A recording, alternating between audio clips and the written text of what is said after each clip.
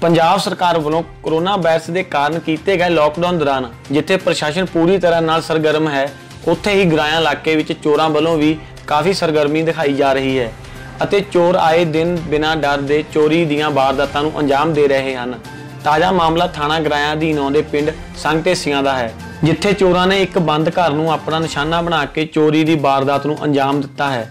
ਇਸ ਸੰਬੰਧੀ ਮੌਕੇ ਤੋਂ ਮਿਲੀ ਜਾਣਕਾਰੀ ਮੁਤਾਬਕ ਕਰਤਾਰ ਸਿੰਘ ਪੁੱਤਰ ਤਰਸੇਮ ਸਿੰਘ, ਜੋ ਕਿ ਆਪਣੇ ਰਿਸ਼ਤੇਦਾਰਾਂ ਦੇ ਰਹਿ ਰਿਹਾ ਹੈ, ਉਸ ਦੇ ਘਰ ਹੋਈ ਚੋਰੀ ਦਾ ਉਸ ਸਮੇਂ ਪਤਾ ਲੱਗਾ ਜਦ ਇੱਕ ਗਵਾਂਢੀ ਆਪਣੇ ਘਰ ਦੀ ਛੱਤ ਤੇ ਕੱਪੜੇ ਪਾਉਣ ਲਈ ਚੜਿਆ ਤਾਂ ਉਸਨੇ ਦੇਖਿਆ ਕਿ ਕਰਤਾਰ ਸਿੰਘ ਦੇ ਘਰ ਦੇ ਦਰਵਾਜ਼ਿਆਂ ਦੇ ਤਾਲੇ ਟੁੱਟੇ ਹੋਏ ਸਨ।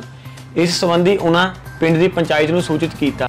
ਪੰਚਾਇਤ ਮੈਂਬਰਾਂ ਨੇ ਮੌਕੇ ਤੇ ਪਹੁੰਚ ਕੇ ਚੋਰੀ ਦਾ ਜਾਇਜ਼ਾ ਲਿਆ ਅਤੇ ਪੁਲਿਸ ਨੂੰ ਸੂਚਿਤ ਕਰ ਦਿੱਤਾ। ਲੋਕਾਂ ਦੇ ਦੱਸਣ ਮੁਤਾਬਕ ਚੋਰ ਕਰਤਾਰ ਸਿੰਘ ਦੇ ਘਰ ਤੋਂ ਇੱਕ ਗੈਸ ਸਿਲੰਡਰ ਲੈ ਗਏ ਹਨ। ਬਾਕੀ ਸਮਾਨ ਬਾਰੇ ਮਕਾਨ ਮਾਲਕ ਤੋਂ ਹੀ ਪਤਾ ਲੱਗੇਗਾ।